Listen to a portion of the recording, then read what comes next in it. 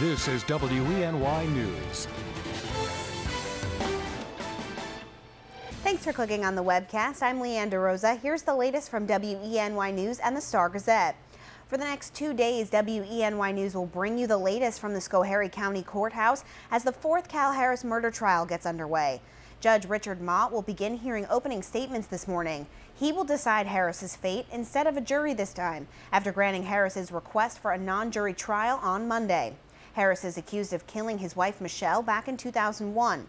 WENY's Ross DeMattei will be in the Schoharie County courtroom today. You can follow him on Twitter for live updates and tune into WENY News at noon and this evening for live coverage from the courthouse. A fatal overdose in West Elmira has police and the Chemung County District Attorney's Office on high alert. The overdose happened Tuesday night at 88 Cleveland Avenue. These pills you see here were found at the home along with instruments to crush and snort them. The pills were tested and found to be laced with fentanyl, according to the DA's office, which is where the widespread health risk comes in. There is an ongoing investigation into where these pills are coming from. WENY News will continue to look into this story this afternoon. A Western New York man is on the run for allegedly gunning down two people in a parking lot. And now the U.S. Marshal Service is ramping up the search for Dominic Cruz. On January 10th, the fugitive allegedly shot 25-year-old Mark Sternin and 24-year-old Tyler Sudeikis during an altercation in Tonawanda. Sternin died. Sudeikis was critically wounded. There is now a $2,500 reward for information leading to an arrest. Police were able to track Cruz down two days later at his job, but Cruz escaped through a side door. Authorities believe he may have fled the state. He's described as a 5'4 male of Puerto Rican descent.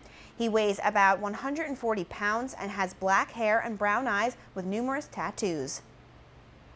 And it looks like this past hunting season was a safe one, for the hunters at least. New York State officials say there were no shooting fatalities this year for the first time since the 1950s.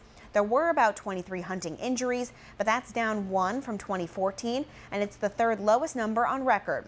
DEC officials credit the agency's hunter safety education safety programs with helping to reduce the number of accidental shootings.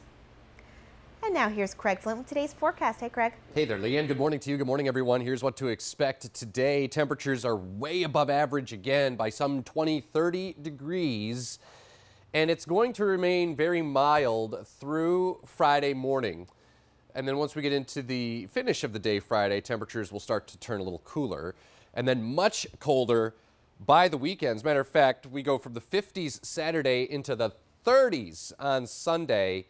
And oh, by the way, there's probably going to be a little swath of snow Saturday night into Sunday, and it could be good enough for some of the higher elevations to pick up a couple few inches. So a little snowy at times uh, Saturday night. And then again Monday, another little system may spread some light snow in.